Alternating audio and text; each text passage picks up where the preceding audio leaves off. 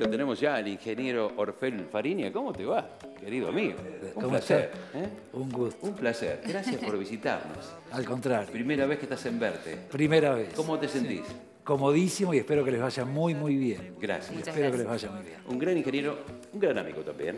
¿eh? este, y además, uno de los mentores junto a su hermana de los TEDx en la Facultad de Ingeniería. Y bueno, tuve el privilegio que, que me invite a uno de esos. este.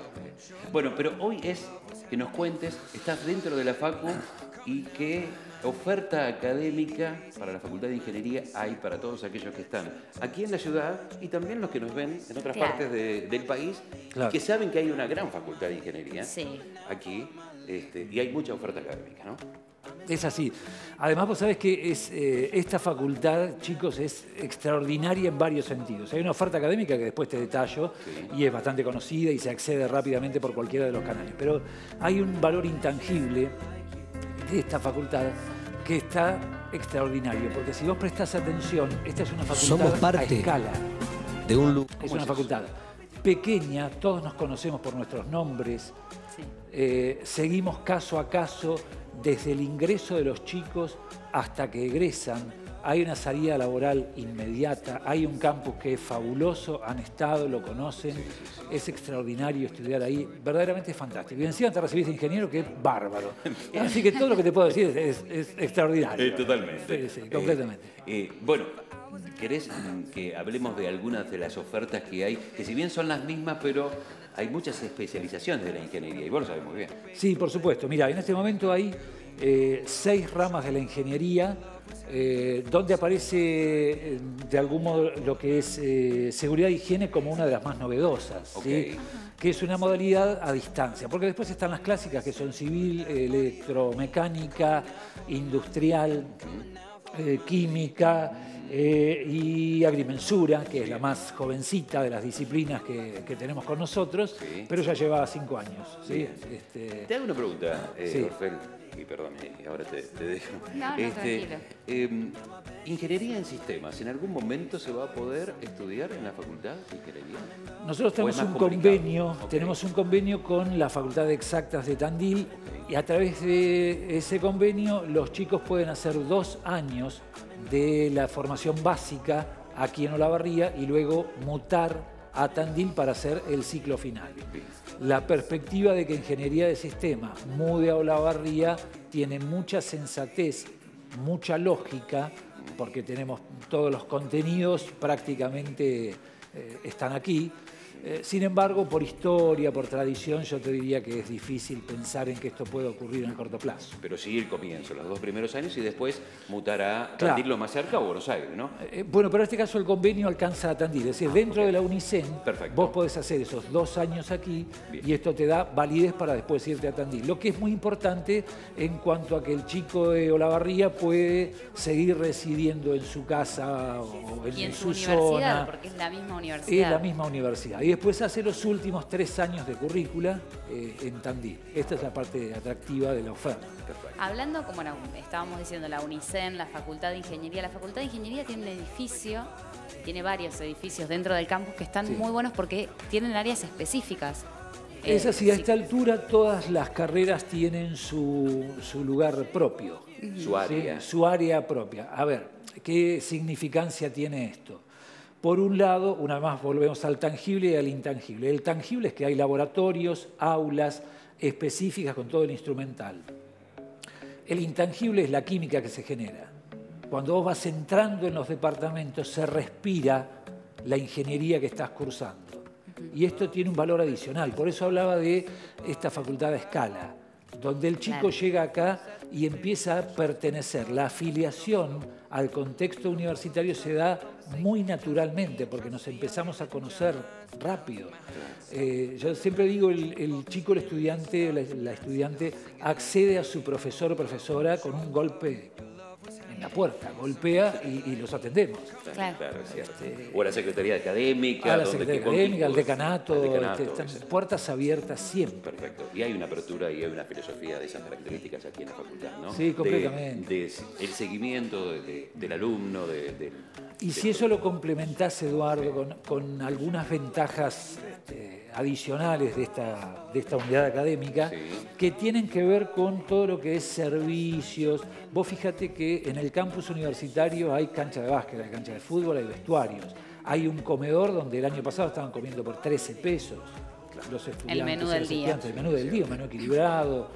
Eh, el, el transporte es gratuito, los micros entran hasta la, Hasta el campus. hasta la puerta de la facultad. Eh, no sé, digo, la fotocopiadora, que es la más barata de la ciudad, es un servicio para estudiantes. Hay servicios de tutorías donde hay docentes y no docentes y pares que van La acompañando. fotocopiadora también es un espacio donde los, tra- los estudiantes pueden trabajar. Por supuesto, también una biblioteca llena de volúmenes y con acceso a, a- a- Eso con, está bueno. con conectividad en todos lados. Y O sea, respecto de, de la inscripción, Mira, la inscripción estamos ya contra reloj, última oportunidad, aproveche, Pero ¿cómo señor, no antes? se pierda. Tendrías que haber venido más. llame ya. ya, ya. ¿Por qué? ¿Hasta cuándo te se Mañana. inscribir? ¿Eh? Mañana es el último Eh, día es un en amigo, que te eh, podés es amigo, Eduardo, estás a tiempo. Estoy a tiempo. Este, bueno, eh, si- en cuanto a esa inscripción que cierra mañana, no hay ningún lapso más de extensión, porque ya No. hay que armar las currículas, ¿no? En realidad esto está cerrando mañana, de hecho el eh, programa para ingresantes, el, el llamado curso de ingreso en algún momento ya arrancó, arrancó el miércoles de la semana pasada, son seis semanas, entonces los chicos todavía hoy pueden inscribirse y habrán este, dejado pasar una semana de actividades, pero pueden engancharse. Esto es un curso en el que se tratan de abordar algunas problemáticas vinculadas con algunos conocimientos matemáticos y algunas cuestiones que tienen que ver con qué podés hacer en tu profesión, la lectura, la escritura y la oralidad, por ejemplo, reforzar temas vinculados con la orientación y la afiliación a la carrera. Y la, y la vida en una universidad, ¿no? Porque es un mundo totalmente distinto. Completamente. Vos sabés que eh, ha habido un paradigma que indicaba históricamente que la afiliación, cuando yo llamo afiliación es el, eh, Sí. tomar el sentido de pertenencia a la institución, pasaba por lo cognitivo. Es decir, si vos sos bueno en matemática y sabés resolver los teoremas, entonces te va a ir bien en ingeniería. Esto es falaz. Esto se ha descubierto que no es así. En realidad las cuestiones de afiliación tienen que ver con un conjunto muy grande de saberes que con frecuencia son pequeños, parecen muy niños, pero no se enseñan. Vos no le enseñás a un chico cómo hacer amigos, cómo conocer gente nueva, cómo estudiar en la universidad, cómo referirse a un profesor, qué cosa es un parcial, qué cosa es un examen final, Claro. cómo administrar su plan de estudios. Esto no, no se venía enseñando. Y esa contención, eso que estás hablando, Sí. de las cosas que teóricamente ya este, el chico tiene que entrar y no, y hay algunas cosas que también les está faltando o necesita, esa contención también está dentro de la parte de las autoridades de la facultad. ¿no? Por supuesto, por eso se armó, yo te mencionaba así como al pasar, pero Sí. puntualmente sobre esto, Eduardo, vos sabés que se ha armado un eh, programa de tutorías. Esa tutoría te acompaña con personal docente, no docente y alumnos de la facultad, va acompañando al ingresante en todo este tipo de cuestiones, ¿sí? que, son a veces, te insisto, como muy pequeñas. ¿sí? Eh, parecen muy pequeñas. Sin embargo, para la- el chico de 18 años que acaba de llegar al mundo de la universidad y se encuentra con un, un caudal de conocimientos y un caudal de exigencias y toda una mecánica universitaria que le resulta desconocida y bastante disímil de- respecto de la modalidad de trabajo que arrastraba el secundario, bueno, ha parecido imprescindible que se haga este tipo de trabajo. Entonces aparece todo este acompañamiento que se hace sobre el chico, tratando de apuntarle a uno de los problemas más graves de la Universidad Argentina hoy, que es la retención. El desgranamiento es uno de los problemas más graves. Nosotros tenemos Sí. este año, estamos muy, muy contentos porque han dado resultado las estrategias de promoción y la oferta que tiene la facultad. Estamos en arriba de 265 inscriptos, que para nuestra historia es un número excelente. ¿Es el, el año de mayor eh, aspirantes a entrar o a, a En la historia hubo alguna edición de 300 en circunstancias muy extraordinarias, pero después el- es, el, es el número mejor de los últimos años largamente. Ha habido un crecimiento sostenido. La realidad, no les quiero robar mucho tiempo, pero pasa una cuestión muy, muy loca, que es este número debiera estar multiplicado. Porque en el país faltan ingenieros. Y de hecho en la barría faltan ingenieros. A despecho de que se reciben 50 por año, Sí. saben ustedes que hay una realidad en este momento vinculada con las grandes empresas de, de la ciudad que va a provocar una mega demanda, entre otras cosas, de profesionales. Bien. Claro. La realidad es que la región no va a dar abasto a atender esa demanda. Y si a esto le sumás el contexto regional con proyectos de rutas y algunos otros proyectos, siempre hablando de obra pública, que se avecinan, el panorama para la ingeniería es verdaderamente muy, muy alentador. Entonces la pregunta yo a veces la invierto, digo, ¿por qué no hay más inscriptos para una carrera que es extraordinaria, si, si tenés un poco de vocación, te colma de, de felicidad ser ingeniero, es una cosa fantástica, Lo dice ingeniero. pero Sí, además sí, tenés sí, una salida laboral servida aquí en la zona. Sí, tenés razón. Entonces, Claro. eh, Inclusive antes de, antes de recibirse ya hay ofertas laborales. ¿Hay algún programa de becas o de apoyo o de inserción laboral desde la facultad? ¿Aquellos que están estudiando se están por recibir? eh, bueno, hay un tema eh, flaco que tiene que ver con eh, una parte de la exigencia de la currícula es que el alumno desarrolle prácticas laborales. Esto es una de las posibilidades eh, académicas, lo que le va permitiendo al estudiante o la estudiante insertarse en el mercado laboral. Afortunadamente esto además sucede per se, porque cuando hay una demanda tan intensa y, y hay una necesidad de ingenieros tan, tan profunda como la que hay en este momento, en principio vos sabés cómo es, al principio uno dice, bueno, con experiencia, después ya, esto me pasa a mí en mi rol de empresario, Sí. yo estoy tomando, hice una incorporación la semana pasada y termino este, tomando a un chico que le faltan un par de finales. Bien. Pero, Pero ya tuvo- ya tuvo la cancha. formado Ahora, y- hablando claro, de- claro. de- del tema del ingreso, de la gente que ingresa, que no ingresa, bueno, hasta mañana tienen tiempo, pero el que no hace tiempo, mañana de llegar. Bien. Tiene a mitad de año otra Es correcto, sí, muy bien. En la segunda instancia. Pero vení, ¿eh? Vení Sí. antes, que no que venga a mitad de año. Claro, que no, No, venga el día el día anterior. antes de que no vengas el día antes. Eh, lo que te preguntó Nicela es Palabra, esta. palabra, Sí. prometo, Por que, favor, prometo que vengo antes.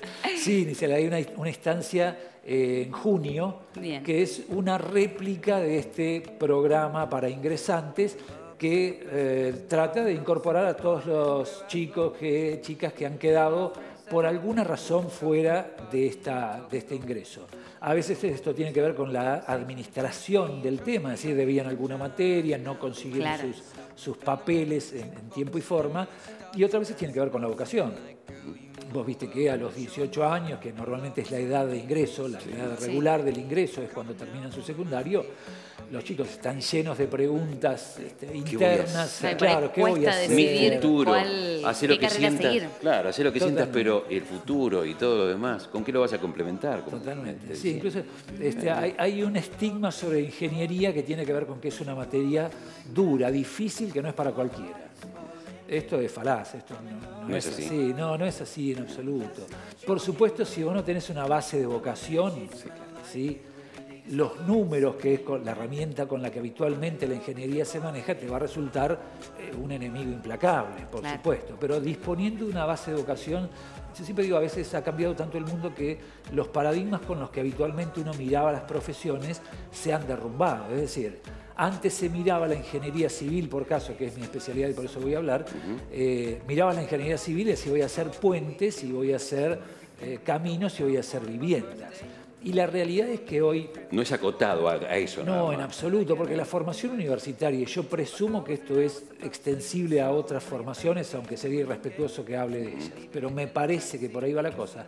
Al menos en ingeniería, vos tenés una formación holística integral donde estás dispuesto para gestionar, para gerenciar, y esto te sirve para proyectos de toda índole. Yo siempre digo, si vos después que hiciste los cinco años de currícula de ingeniería civil te das cuenta que lo que te gusta es poner un almacén, la formación que vos tenés no tiene precio y la vas a poder aplicar para desarrollar ese tipo de proyectos que en principio parecen no tener consonancia con lo que fue tu formación desde el punto de vista cognitivo. Si vos aprendiste el teorema de Laplace, y es difícil después vender salame con el teorema de Laplace.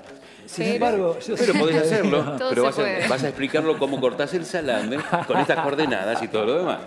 Orfel, eh, en julio, por favor, le decimos que venga. Sí, por Eh, favor. Así nos recordamos. Y aquellos que están En ahora mayo viendo- venite, más Sí. o menos, para que se vayan preparando del otro lado.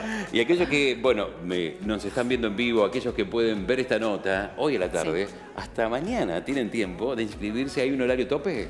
El horario es hasta las 14, van a estar disponibles. Hasta las 14. la- el- el Se acercan entonces de- al FIO, a- al campus de la UNICEF. Claro, yo recomiendo, usualmente la inscripción es eh, a través de internet en Sí. principio, pero yo recomiendo a esta altura ya presentarse eh, directamente a Ventanilla, hacer el trámite personal y a partir de ahí hay sí algún tipo de, de, paciencia con algún papelito que pueda faltar. por Una más cortita, Fer. Sí. Eh, aquellos que tienen, deben materias de secundario que tienen que dar en febrero, ¿pueden empezar a cursar hasta Sí, qué sí. mes es el tope? Pueden empezar a cursar Para y tienen el primer cuatrimestre como, como plazo para poder rendir. Usualmente estas son las instancias de examen, ya no hay más en el secundario, de modo que tendría que estar dando sus, sus examinaciones en esta, a esta altura del año. Ingeniero, muchísimas gracias. No, al Muchas contrario, gracias. chicos, es un Un Un placer. placer, gracias por venir a verte. Muchas gracias. Es el ingeniero Fer Fariña eh, y también con estas ofertas académicas, Sí. aquellos que lo están viendo, ya, si se quieren inscribir, pueden empezar a cursar y ahí está el curso de ingreso. Aquellos que lo vean a la tarde, porque esto se puede ver en cualquier Sí. momento, la nota hasta mañana a las shape 14. of you.